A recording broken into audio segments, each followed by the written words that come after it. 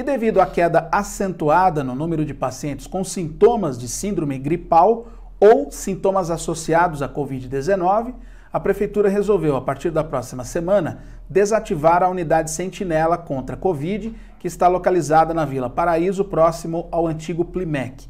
Os pacientes que tiverem sintomas associados à síndrome gripal devem procurar o posto do Jardim Primavera.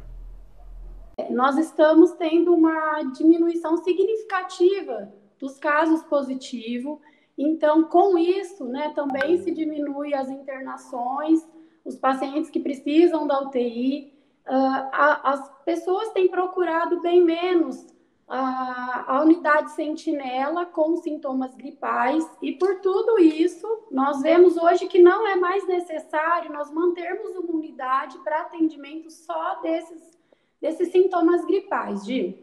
É, então, a partir de segunda-feira, nós teremos não mais a unidade sentinela atendendo sintomas gripais, nós teremos um médico que vai usar a unidade de saúde do Primavera, que é aquela unidade que fica ao lado da nossa farmácia municipal. Esse médico vai atender das 13 às 17 horas pessoas com sintomas gripais e esse funcionamento ficará por 30 dias, contando de segunda-feira.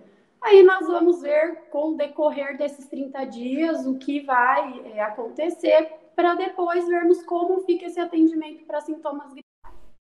O procedimento de que as pessoas não devem procurar os postos dos bairros, com exceção do primavera, a partir de segunda-feira, continua então. Continuam procurando a unidade no período da manhã, que serão atendidos pela doutora Vera normalmente, e os pacientes com sintomas gripais serão atendidos no período da tarde, das 13 às 17 horas, é, pelo doutor é, Filisberto.